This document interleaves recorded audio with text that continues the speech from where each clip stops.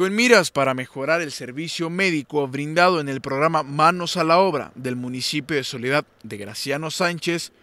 fue añadido eh, el laboratorio de análisis clínico, el cual brindará servicios de análisis de sangre y orina a bajo costo. Esto lo mencionó Juan Carlos Negrete Ayala, quien dijo que el servicio será ambulante, el cual viajará colonia por colonia para quien lo solicite. Es el laboratorio de análisis clínicos,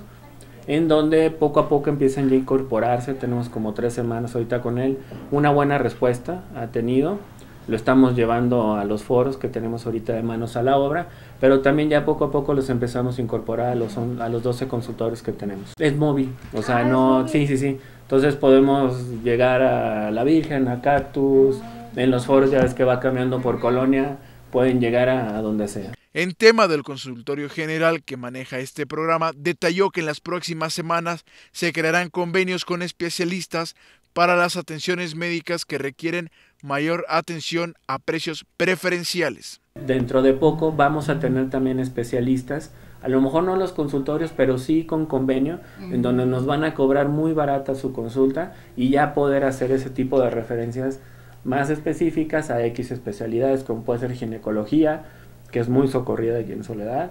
eh, otorrino, cirugía general, ortopedia, etcétera. Señaló que estudios de rayos X y ultrasonido son en los que están trabajando para que también se añadan al catálogo de bajo costo, resaltando que estos estudios no se pueden brindar gratuitamente por ser realizados con equipo costoso. Eh, ya estoy terminando nada más de elaborar este, un listado de varios compañeros que nos van a apoyar para tener bajos costos, que vuelvo a repetir, digo, no todo va a poder ser gratuito, pero sí que sea accesible.